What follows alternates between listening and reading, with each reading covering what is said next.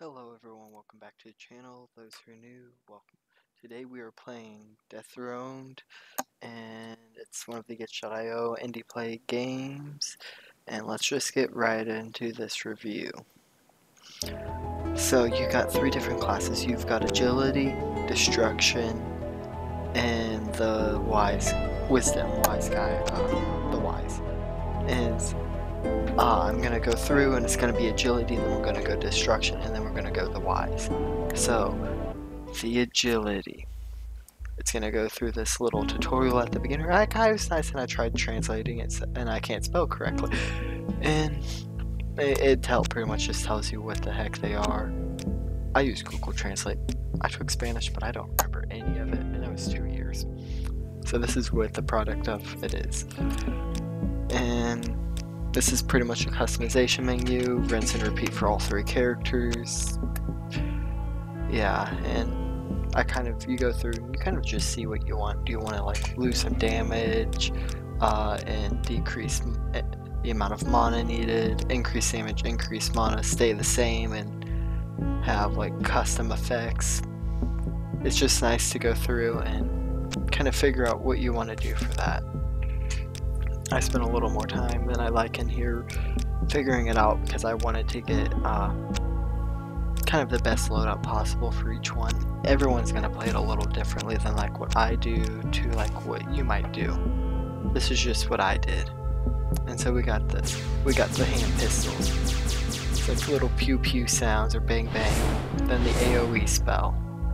Um, hand, sword, slash. These are not actually the names of the spells. These are just the fun little names I gave them uh, throughout. I, I, found them fun to, you know, give, uh, like, what is the name? Like, hand pistol is actually called Quan Fragment. AoE is Arcane Explosion, and hand sword is Magic Slash. So, they actually do have names. I just chose to give them fun little ones.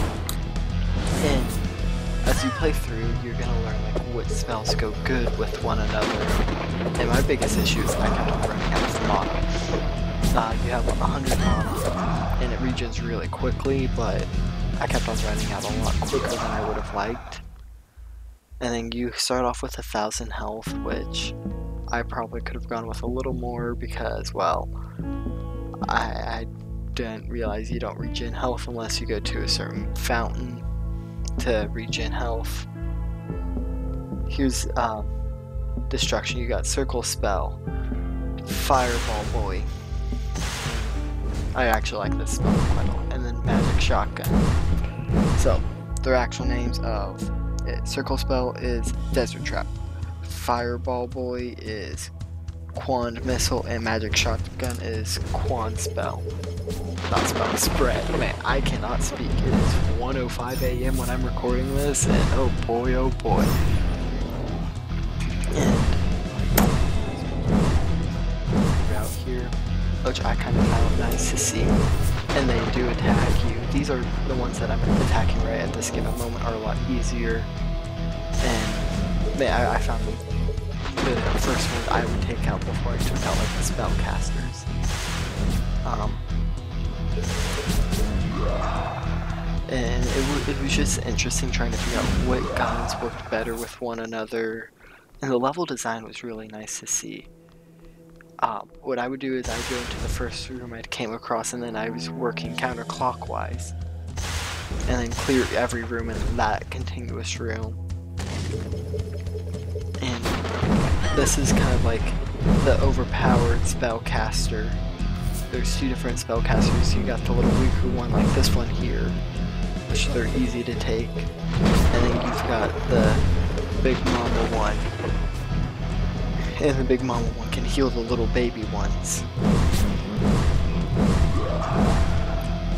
Um, and I found these guys got stuck often. If you can get them down there and then get them stuck on this ledge, they're a free kill, which they're easy to kill alone, but they're even better whenever you can attack them um, when they can't attack you. That's what I found to be probably the better of them. And here's what a treasure room looks like, and you can open it, and it tells you pretty much what spells and stuff you can get it every time it's um, just random potluck, which I kind of found nice to see.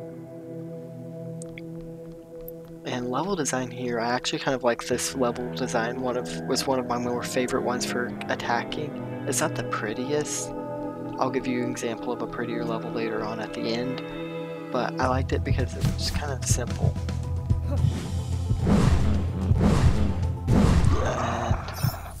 Uh, another thing to point out is you want to collect these um, and put them in these little tower things in here and it's kind of in the progression of it's not really the story but the objective of the game um, comment down below if you want me to change story to like story slash objective because it, it varies and then we got another spell here which name my fun name's gonna pop up in a couple seconds. Here it is, the trap spell. You're gonna notice by how it works is it kind of traps them in. And the actual name is called Explosion Flame, which I found to be just some overpowered spell. And it was just probably one of the best spells for me to work around with. Um, I did speed this part up to times 2 speed because I didn't want this running on and on. I had an hour plus worth of clip with just the destruction guy. I, I played through this way too many times and it was well worth it. I, I really enjoyed playing. And then last but not least, we got the wise guy.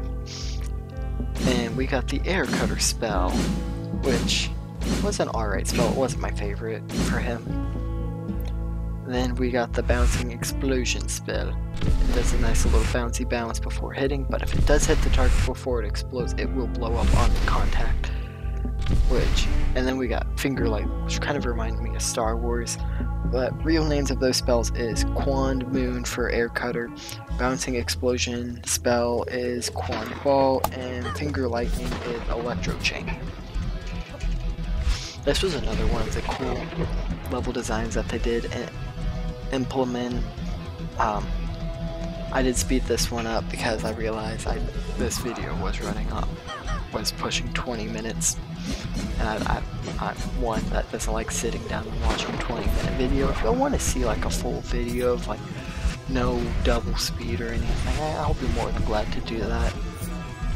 But I did want to play through all of them completely, and Destruction was probably my favorite one to play through. Um, and then it was probably the Wise. He was probably another really fun one to play through. And I didn't really like agility. The attacks just weren't strong enough to my liking. Um, each of them took a different strategy, which I did like, but this one was just not to my liking. And that, that's my take. I'm sure someone else will be like, oh no, the, the agility is a lot better. And then I'm going to talk about the graphics. Look at the reflections, the the design on this level. It is just so beautiful. It was well put together, and it was a little more demanding than some of the other levels, but this was probably the prettiest level out of the entire game. And, you know, it's our favorite, the final boss, the Guardian of the Abyss. And once you gather all three of those little crystal gems, you get to battle him. And there's two different stages. You have this stage here, and then you got one stage where he calls out a little minion, but we'll save that for another video if y'all want. So, how do I rate? Enjoyability, it got a solid 9 out of 10. I really did enjoy playing this game and con controls it got an 8 out of 10 they had nice simple controls scroll wheel swap between spells it did recommend a controller but I saw no need for a controller visually it got a 9 out of 10 um, it was amazing visuals that last level that I showed you before the boss was probably the best visually compiled one of all the levels put together in one. Each of them had their own aspects, or some with lava, some with none. It was just kind of nice to see. Sounds 7 out of 10.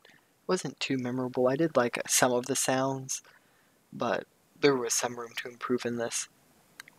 Story slash objective. Um, I got a 7. You know, it was self explanatory. go to the little diamond on the map, put it in, progress on. Not, not too hard. So overall it got an 8. And I do give this game a solid thumbs up and I recommend all of y'all to go out and try it. It was really well worth the time to go play it. And thanks again for watching. Please like and subscribe and click one of the things down below to um, watch another video, subscribe, or check out a playlist. Thanks again and see you in the next one. Peace.